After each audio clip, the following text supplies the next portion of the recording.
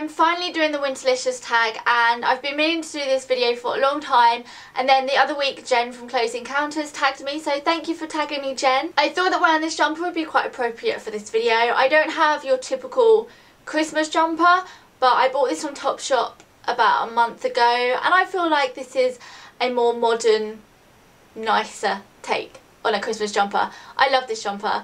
It feels really Christmassy to me. One more thing I wanted to mention before we get started is that on my second channel I have been doing Vlogmas. Vlogmas is basically doing daily vlogs from the 1st of December up until Christmas Day and I've been really enjoying it more than halfway through now so if you guys didn't know that I was doing Vlogmas then please be sure to go over to my second channel and check that out and make sure to subscribe to see my videos every day. I'll link it in the down bar. So anyway we're going to crack on with the tag and the first question is favourite winter nail polish and for me that would be Vixen by Revlon. It's one I've only started using for the last couple of months and I love it and it just hasn't come off my nails and I've got it on today and yeah I absolutely love it and it's really really good quality nail polish. Next question is favourite winter lip product and I've got four here to show you. The first one is one that you guys know I've been using for years now and it's Grace by number 7 and I don't know where my new one is but it's this kind of berry slightly brown undertone sort of lipstick and it's really nice and smooth and it doesn't dry out your lips but it does have more of a matte finish. Then if I want more of a vampire look I will wear Diva by MAC and this is sort of a really dark red and yeah it's just a really nice colour and I love to wear like vampy lipsticks when I'm wearing sort of like velvet and stuff it just feels really Christmassy to me. Last lipstick is Smoked Purple by MAC and now this is quite a in your face vampy lipstick and it's a dark purple but it is a really lovely colour. And then the last product is a lip liner and it's their creme stick liners and it's in Velvetella and it's from MAC and I really like this and it's brilliant for wearing either under smoked purple or if you want to darken one of your favourite lipsticks, so use this as a liner and then fill in all your lips and then put the lipstick over the top and it will give like a different dimension to your lipstick and it's really nice and it's really nice to sort of darken up lipsticks. Most worn winter clothing piece is a really easy one for me and I think quite a lot of other YouTubers have mentioned it as well and that would be my leather jacket. I get asked about my leather jacket all the time and it's more sort of a cropped jacket and I really like it because it sort of nips you in at the waist. It's from Topshop Petite and it's not real leather so it was like £55. I don't think they have it anymore but I will try and find one similar and link it for you. But I love this. I've been wearing it all summer and now all winter. My most worn winter accessory is a tie-up between two things. Uh, the first one is my tartan scarf, which you guys have seen a lot. It's from ASOS. They sort of have it in stock and then they don't, and then they do, and then they don't. So I don't know if they've got it in stock at the moment, but I always link stuff in the down bar if I can find it for you guys to make your life easier. And the next accessory that I wanted to mention, and it's something you guys can probably guess again, and it's woolen hats. I have quite a lot I wear them through the summer, through the spring, through the autumn and through winter. This isn't even my whole collection. Have my beanies. I might do a video on all my hats. Anyway, off, top off topic. Beanies is something that I wear all year round. And then I feel like bobbly hats, which I've got here. I've got more in my wardrobe, but these are sort of the ones I wear the most. Bobbly hats are sort of just brilliant for winter and they look a lot more sort of winterish. Uh, but the ones I do wear the most at the moment are these. I've got this cream one from Topshop that I got uh, two or three years ago now. Then I've got this navy one that I got from Primark the other week. Question five is favourite winter scent slash candle. So I have two scents to show you. I've been cheating. I've been doing numerous items for each question. I'm sorry. First one that I've been loving just recently is this Dita Von Teese perfume.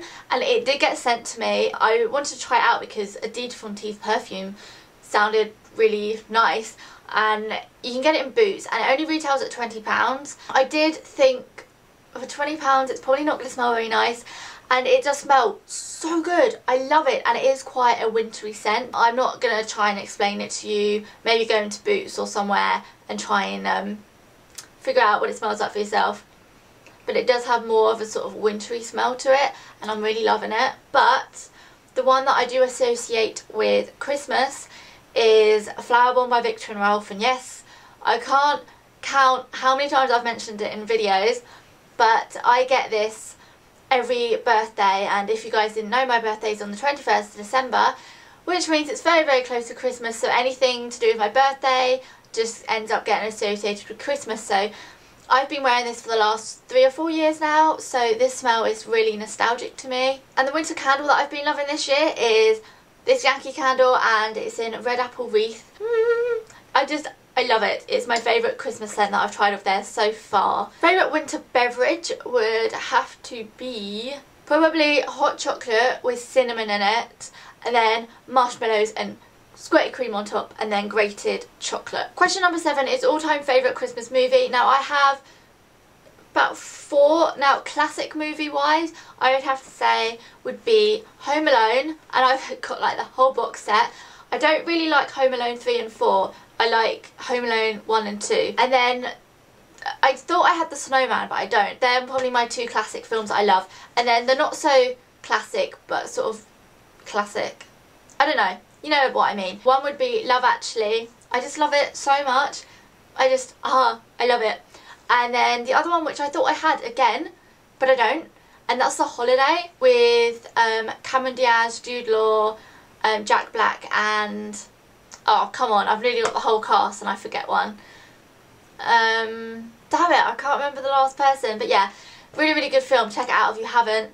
Um, but yeah, so Love Actually, Home Alone, um, The Snowman and The Holiday are like my favourite Christmas films. Next question is favourite Christmas song and I would have to say I love Rocking Around the Christmas Tree, Silent Night. I don't know, is Silent Night really a Christmassy song? It is, I love Silent Night when it's sung like really lovely it's quite an emotional song. I love all Christmas songs to be honest though.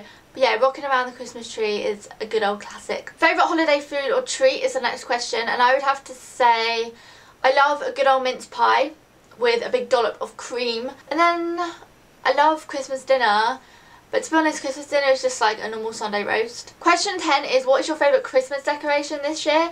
Now I would have said the bunting that I got to put in my room but it's too long that I've got nowhere to put it so that'd be cheating so I can't really show you that. So the only one that I can think of is these little love heart shaped things that you hang on like doors and stuff and I think they're just really cute so I yeah this one was the one that was hanging on my door and I also have one hanging next to my Christmas tree and on my window and yeah I just think they're really nice. Second and last question is what is top of your Christmas list this year and if I'm going to be really, really tacky, I just want to have a really good Christmas and spend it with all the people that I love. But top of my Christmas list is an iPad. The last question is, what are your plans for the holidays this year? I don't really have a very traditional family. A lot of people I know sort of spend it all with family and I'm really jealous because I would love to have Christmases like that but I never have. So Christmas Eve I'm spending it with Doug and my mates. I think we're just going to sort of spend it at the pub and do karaoke and get merry. And then Christmas Day I'm going to be just sort of milling around on my own for quite a long time. And then around six o'clock I'm going to go over to my mum and stepdad's and we're going to go to Hotel du Vin again, have our Christmas meal and then go back to my mum's and probably open our Christmas presents to each other. And then on Boxing Day I'll be spending it with Doug at his house with his family, which is just around the corner, which is good because if it snows I can just walk. For like New Year's, I don't even know what I'm doing for New Year's. But I know on the 1st of January, it's going to be mine and Doug's six month anniversary. So he's actually going back to work on the 1st. So we won't have time to do anything to like celebrate.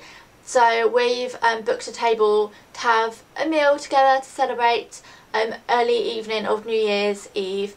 And then um, in the evening, I'm sure we're just get very, very drunk with our friends. I hope you enjoyed this video and I will see you in my next one. Bye!